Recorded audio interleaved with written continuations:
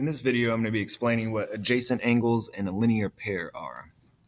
So let's define adjacent angles first. Simply, adjacent angles are angles that are next to each other, but more specifically, they're next to each other and they share a common ray and a vertex. So here's an example. Angles 1 and 2 are adjacent because they're next to each other, but more specifically because they're sharing ray BC, this ray in the middle of them, and they're sharing vertex B. So because they both have vertex B and they both have ray BC as part of their angle, they are adjacent. Let's define a linear pair. A linear pair has to be two adjacent angles, so the previous adjacent definition has to apply. Their measures are going to add up to 180 degrees, or they're going to combine to make a straight angle here. And their outer sides are opposite rays. So 1 and 2 are adjacent because they share ray BD and vertex B. They're forming a straight angle when we combine their measures, where they add up to 180 degrees and they have these opposite rays as their outer sides. So ray BC and ray BA are exactly opposite of each other.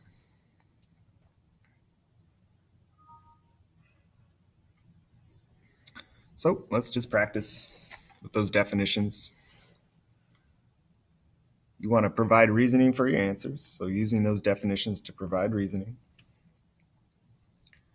In this diagram, we're told that ray OB and ray OD are opposite rays. And also ray OA and ray OC are opposite rays. So that will help us determine some of the following examples. Name three angles that are adjacent to angle BOA. Well, I know that angle BOA is adjacent to angles that share this ray, OA, and this vertex O. So right next to it, angle O, AOE or EOA would be fine. That angle is adjacent. It's sharing that ray OA and that vertex O. Also, if I ignore that ray and look at angle AOD, they're also sharing that ray OA and vertex O. And if we ignore that ray and look at this big angle over here, AOC, that's actually a straight angle, but it's adjacent to angle BOA because it's sharing ray OA and sharing vertex O.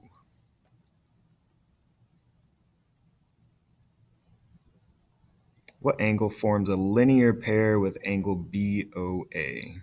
So a linear pair with BOA.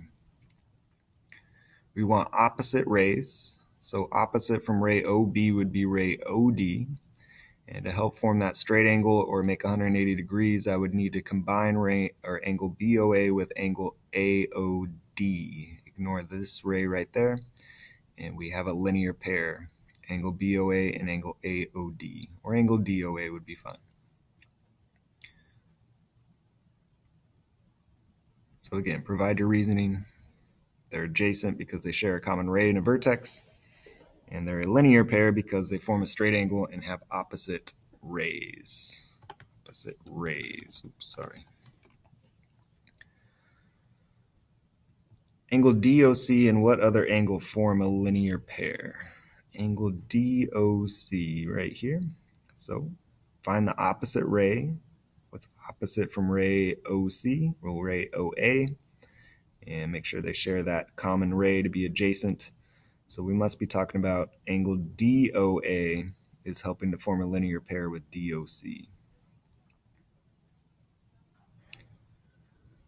It's because they're sharing that common ray and that vertex, making them adjacent, and they have opposite rays forming a straight angle or adding up to 180 degrees.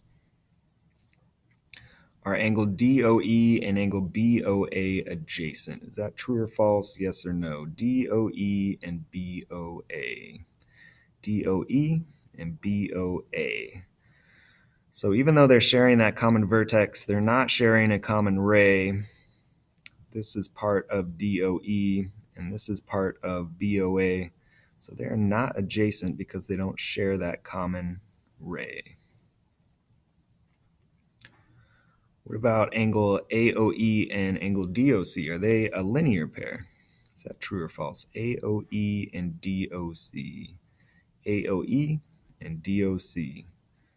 So they do have opposite rays, OC and OA, but they're not adjacent. They don't share a common ray, so they are not a linear pair. So no, even though they have opposite rays, they're not adjacent. They have to be adjacent angles to form a linear pair. So there's defining adjacent angles and a linear pair, and hopefully you can recognize them using their definitions.